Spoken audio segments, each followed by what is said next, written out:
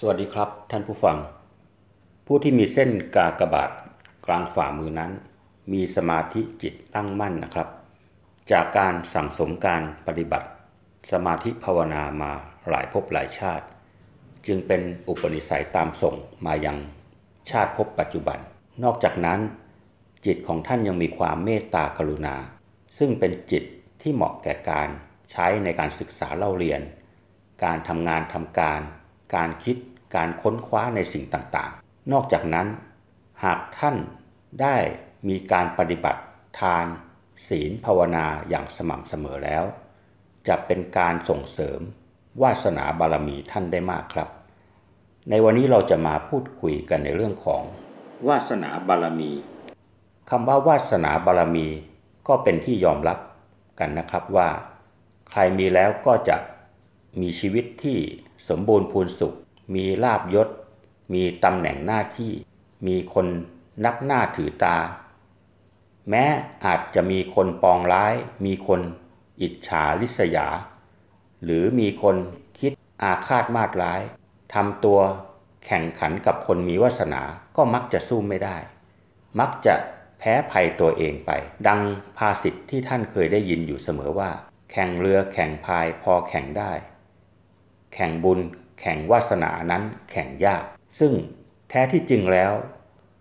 เรื่องของวาสนาบารมีไม่ใช่เป็นเพียงสิ่งที่ติดตัวมาเท่านั้น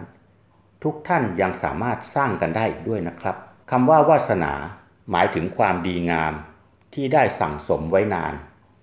ที่เคยพอกพูนมานานจนกลายเป็นบารมีที่มีความสมบูรณ์เต็มที่ มีความสามารถสนองผล ให้ผู้ที่ทำได้ถึงฝั่งแห่งความปรารถนาทุกประการ ทั้งจะไม่หมดไปง่ายๆ เหมือนกับการใช้เงินทองอีกด้วยนะครับ คนมีวาสนาบารมี แม้จะอยู่ในป่าเขา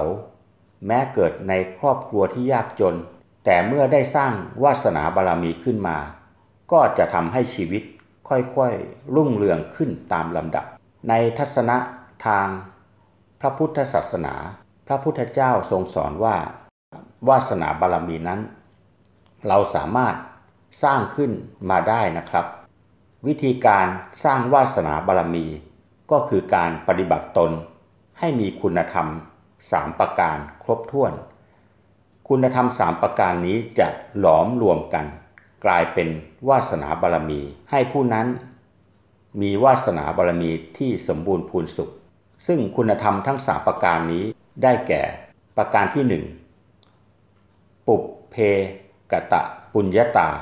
2. ปฏิรูเทสวาสะ และ 3. อัตตะสัมมาปณิธิ ซึ่งแต่ละประการนั้น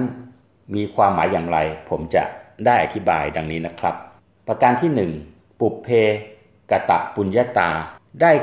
แก่เรื่องของความดีที่เคยสร้างไว้ก่อน ข้อนี้จัดเป็น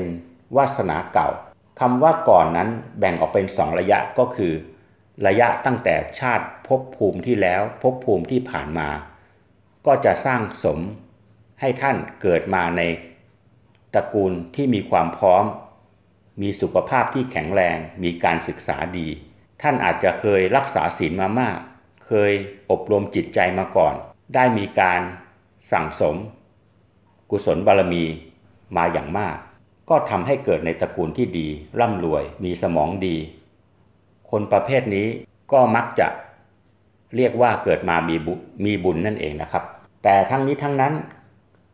ก็ไม่ใช่เป็นเพียงประการเดียว การสร้างบุญณชาติภพปัจจุบัน ก็สามารถสร้างวาสนาบารมีขึ้นมาได้เช่นเดียวกันนะครับ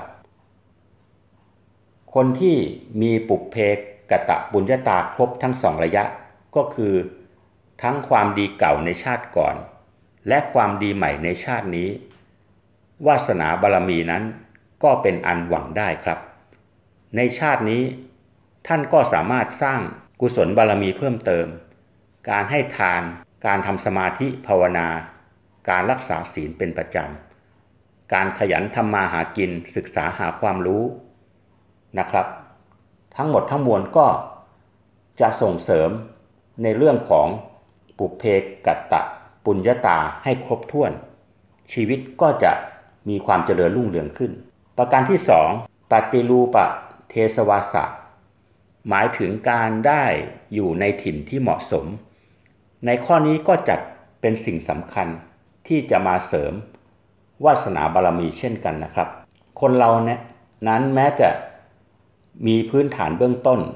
คือมีปุเพกะตะปุญญาตาดีมาแล้ว แต่ เมื่อโตขึ้น ไปอยู่ในสถานที่ไม่เหมาะสม ก็อาจจะเจริญรุ่งเรืองได้ยากนะครับ เช่น ไปคบคนชั่วเป็นมิตร ไปมั่วสุมอบายมุกเกียรติค้านการทำงานทำงานทำการนะครับ ก็อาจจะทำให้ชีวิตนั้น